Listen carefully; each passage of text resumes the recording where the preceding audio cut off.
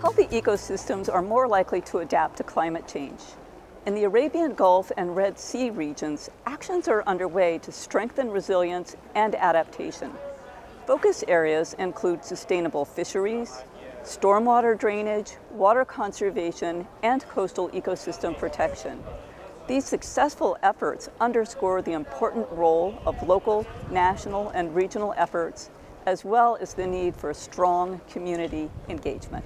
By conserving nature and restoring ecosystem, we reduce impact and increase resilience. A fisheries management program in the Arabian Gulf is working to increase local fish populations and ensure the long-term health of coastal ecosystems. The increase of the demand of the fisheries going up with the population increase, while still the production and the harvesting of the Gulf is still at the same level. In water-scarce Qatar, a national conservation program is tackling water consumption and electricity use.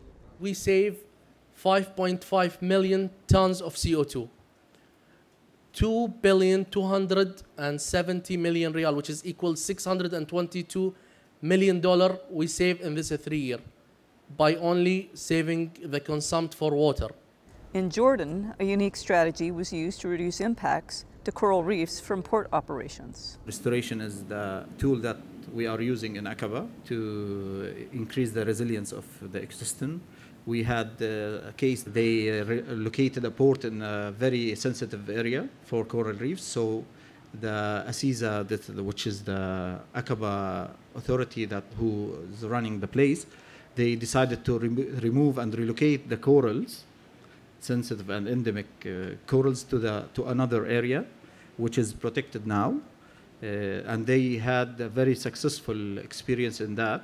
PERSGA, the regional intergovernmental organization, has helped establish marine protected areas, sponsored site-specific conservation projects, and involved coastal communities in protecting local resources. The economic benefit of MPAs to sustain food and livelihood resources. For example, one hectare of mangrove may produce more than 600 kilogram of fish per year. PERSGA uh, member state signed on a protocol for the conservation of biodiversity and establishment MPA network along the Red Sea and Gulf Aden. Also, PERSGA try to uh, raise the resilience of coral reef, so we install mooring buoys for the uh, protection of the submerged reef from, uh, from anchoring of uh, ships. The Red Sea is famous of it is diving tourism potential. It is destination of many diving tourists. So the, the coastal communities also depend on coastal tourism and diving tourism.